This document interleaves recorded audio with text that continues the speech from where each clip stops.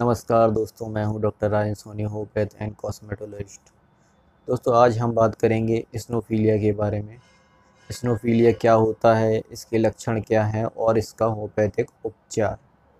दोस्तों, यदि आप स्नोफीलिया के बारे में पूरी जानकारी चाहते हैं तो हमारा वीडियो लास्ट तक देखें। दोस्तों, अगर यदि बात की जाए कि स्नोफीलिया क्या होता है तो हमारे ब्लड में तीन प्रकार के ब्लड सेल्स पाए जाते हैं आर बी और प्लेटलेट्स। दोस्तों डब्ल्यूबीसी मुख्यतः पाँच प्रकार के होते हैं न्यूट्रोफिल्स लिम्फोसाइट स्नोफिल्स बेसोफिल्स और मोनोसाइट दोस्तों स्नोफिल्स का काउंट ब्लड में बढ़ जाना ही स्नोफीलिया कहलाता है। बात की जाए इसके नॉलो वैल्यू के बारे में तो ये हमारे ब्लड में ज़ीरो से छः परसेंट तक होते हैं। यदि इसका काउंट या इससे कभी ज़्यादा हो या पचास से साठ प्रतिशत हो तो ये कई गंभीर बीमारियों का लक्षण हो सकता है।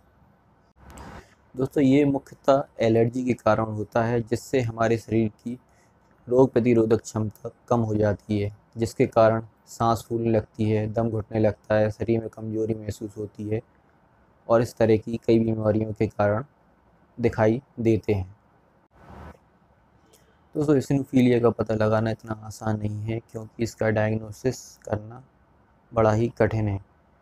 क्योंकि लक्षणों के रूप में इसको यदि मेल किया जाए तो इसके लक्षण कुछ कुछ एलर्जी और एलर्जिक राइनाइटिस के समान ही होते हैं। इसलिए इसको डायग्नोस करना इतना आसान नहीं है। यदि इसका पता करना है तो इसके लिए हमें ब्लड टेस्ट कराना अति आवश्यक है, जिसमें टीएलसी और डीएलसी काउंट के द्वारा इसके काउंट इंक्रीज़ होने का पता किया जा सकता है। इसी के साथ हम एक चेस्ट एक्सरे कराकर भी इसका डायग्नोसिस कर सकते हैं। दोस्तों, अब यदि बात की जाए इसके लक्षणों के बारे में बलगम युक्त खांसी आती है लेकिन बलगम नहीं निकलता है। छाती में दर्द रहता है और बुखार भी आता रहता है। फेफड़ों एवं हृदय में और लीवर में वृद्धि हो सकती है।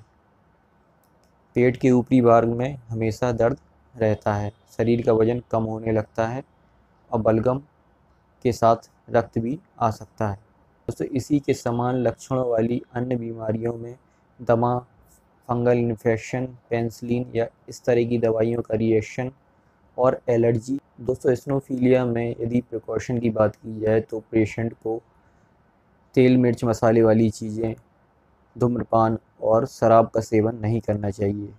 इसमें उसको हरे पत्तेदार सब्ज़ियाँ, फल फ्रूट और इसी तरह की चीज़ें खानी चाहिए जिससे उसको आराम मिले। दोस्तों, यदि इसके जनरल ट्रीटमेंट की बात की जाए तो रोगी को इसका पता चलते ही इलाज कराना चाहिए। यदि पेट में कीड़े हैं तो पेट में कीड़ों की दवाई लेनी चाहिए।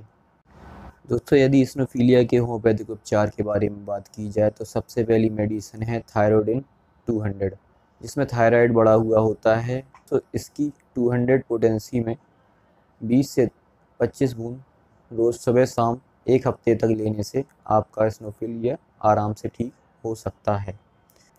दोस्तों, इसकी दूसरी मेडिसिन है लेकिसिस रात में बहुत कम नींद आती है, नींद बहुत कठिनाई से आती है। दम घुटता है, गर्दन के चारों ओर बहुत दर्द होता है। दोस्तों, इसकी 10 से 15 बूंद रोज़ सुबह शाम सात दिन लेने पर आपको स्नोफीलिया में बड़ी जल्दी ही आराम मिल जाएगा। दोस्तों थर्ड मेडिसिन है पर सेल्फ ज़ोर ज़ोर से खर्राटे आते हैं या सांस लेने में बड़ी तकलीफ़ होती है। रोगी ठंड के प्रति सेंसिटिव होता है। दोस्तों, इसकी तीस पोटेंसी में दस से पंद्रह बूंद रोज़ सुबह शाम एक हफ़्ते तक लेने से आपको स्नोफीलिया में बड़ी जल्दी ही आराम मिल जाएगा। दोस्तों, चौथी मेडिसिन की बात की जाए तो हिस्टामिन 200 या 1 एम पोटेंसी में रोज़ सुबह शाम लेने से आपको इसमें आराम मिल जाता है। दोस्तों, इस मेडिसिन में पाचन क्रिया ख़राब होती है और एलर्जी के लक्षण ज़्यादा दिखाई देते हैं। दोस्तों, अगली मेडिसिन नेट्रम सेल्फ नम मौसम में नींद कम आना, बलगम आना और बलगम बड़ी कठिनाई के द्वारा निकलना। दोस्तों, इसकी वन एम पोटेसी में वीक में एक बार एक डोज़ लेने से आपको इसमें बड़ी जल्दी ही आराम मिल जाएगा। दोस्तों, अगली मेडिसिन है थूजा।